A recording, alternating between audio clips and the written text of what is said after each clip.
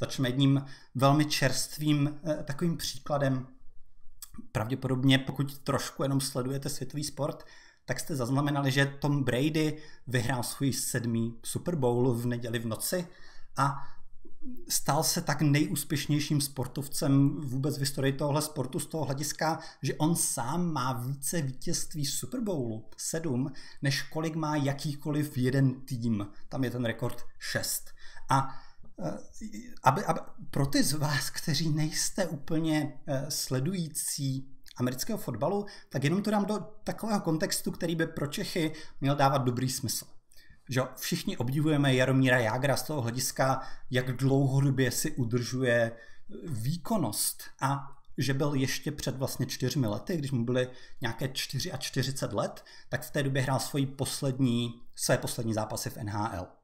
V tomhletom věku 43 a 3 čtvrtě přibližně je teď Tom Brady. Ve stejném věku, v jakém Jaromír Jágr hrál své poslední zápasy v NHL. Ale ten rozdíl je v tom, že Tom Brady za posledních asi 6 let, jestli to dobře eh, počítám, tak vyhrál čtyři Super Bowly a tedy on pořád si drží výkonnost a stabilitu a nějakou konzistenci a je schopen jakožto líder toho týmu pomáhat té skupině kolem sebe na té úplně nejvyšší úrovni. Takže to je jakoby Jaromír Jágr ještě před těmi čtyřmi lety nejenom, že hrál v tom NHL, ale vyhrával s těmi svými týmy Stanley Cupy a byl volen nejužitečnějším hráčem těch finálových sérií. Na téhle té neuvěřitelné úrovni je 43-letý Tom Brady.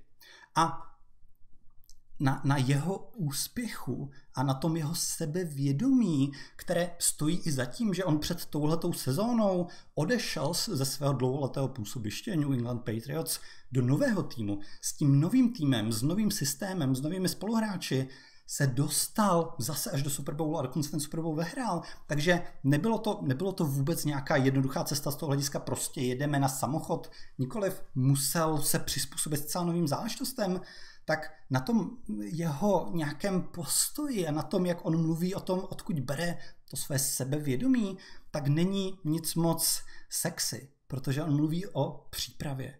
A ví se o něm, jak neuvěřitelně detailní a podrobná jeho příprava je z toho hlediska, že on má svůj vlastní tým, který se zaměřuje na jeho regeneraci, na jeho výživu, na neurologické nějaké trénování, eh, na, na což používá nějaké aplikace nejrůznější.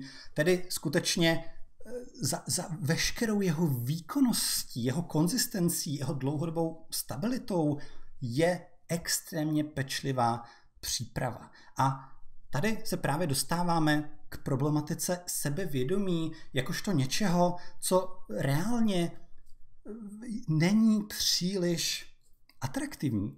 A někdy to ten člověk nebo sportovec nechce úplně přijmout.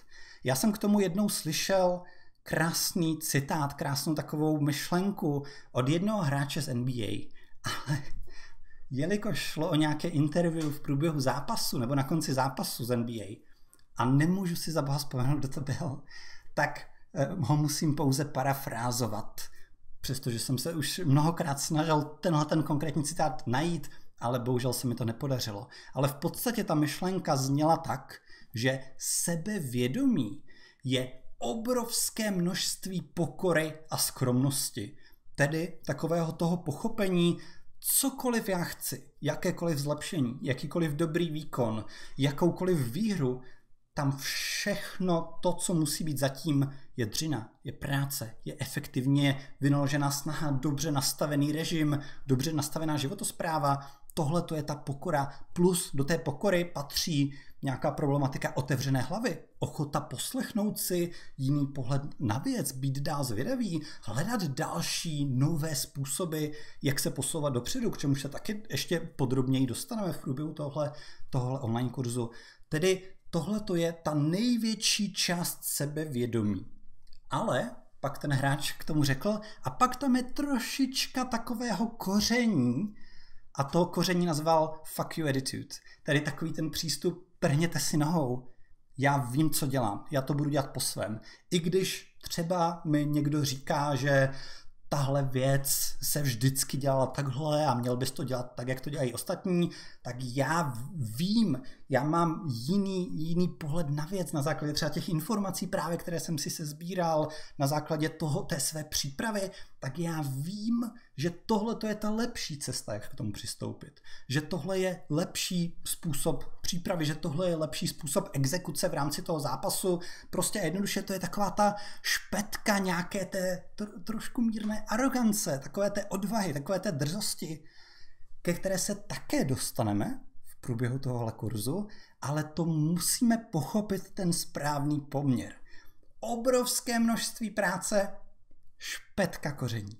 A tady si právě často děláme ten mentální omyl, že se zaměřujeme na to koření více, než na, na, na tu hroudu toho těsta, se kterým privárně musíme v rámci sebevědomí pracovat. A k tomu právě mám tady historku od Toma Bradyho, že eh, Tom Brady právě má taky tak pár takovýchhle zrníček toho koření, o kterých se někdy mluví, jakožto o té primární věci, kdy se třeba říká, že On byl draftován jako 199.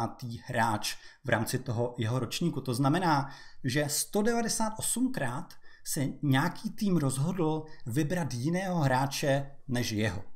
A Tom Brady údajně do dneška ve svých 43 letech jako trojnásobný, trojnásobný otec, sedminásobný vítěz té největší trofeje, tak údajně to je pořád něco, k čemu se vrací. K takovému tomu, já vám to, já vám to ukážu.